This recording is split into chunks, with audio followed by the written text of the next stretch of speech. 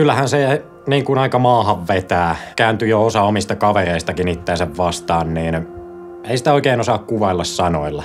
No kun kuulin, että Jonia on kiusattu, niin kyllähän se raasto rintaa tosi paljon, että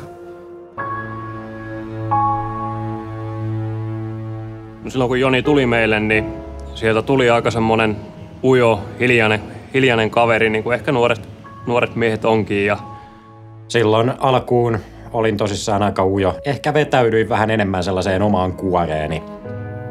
Yläasteella oli jonkun verran kiusaamista. Alkuun se oli sillä että sitä oli niin kuin ihan kerran kaksi kuussa. Loppupeleissä se oli niin kuin oikeastaan melkein koko ajan jatkuvaa ihan loppupäässä. Niin sitä jos olisi joutunut kestämään vielä vähän kauemmin, niin en tiedä, että miten olisi käynyt, mutta ei, ei siinä oikein jälkeenpäin pysty tekemään mitään.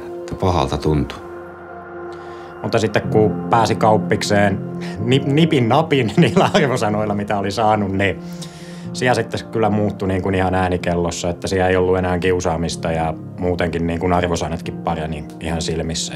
en ole ehkä koskaan elässäni nähnyt noin nuorta kaveria, joka hoitaa työnsä niin hyvin ja, ja kaiken lisäksi on tosi hyvä ihmisten kanssa ja se tulee häneltä luonnostaan. Et, et se oli aika käsittämätön se muutos, että kuinka äkkiä Juni oppi ja huomasi, että haluskin myöskin oppia. Kun mä kuulin siitä, että mut oli valittu vuoden nuori työntekijä top kolmoseen, niin mulla oli jotenkin aika häkeltynyt olo, että se oli tavallaan siinä kohtaa jo aika iso voitto, että oli siinä top kolmosessa, että en niin kuin osannut odottaa sitä, että voitaan sen kokonaan. Ei se mikään yllätys mulle loppupeleissä ollut, että Juni se sieltä voitti. Että.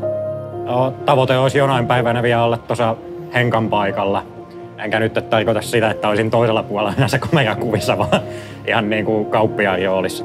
On ehkä oppinut päästään siitä omasta kuplasta itseensä niin kuin pihalle, että uskaltaa jutella oikeasti ihmisille ja olla niin kuin aidosti ehkä sellainen, mitä on, mitä ennen ei ole ehkä uskaltanut tehdä.